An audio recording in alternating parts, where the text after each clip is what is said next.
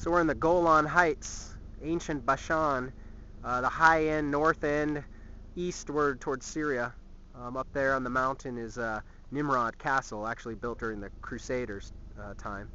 And uh, I'm looking now down over the whole plain of Bashan, uh, or current day Golan Heights, that was reclaimed by Israel in the 1967 war and uh, actually you can't go out in those fields because of the mines and the live ordnance that's still out there.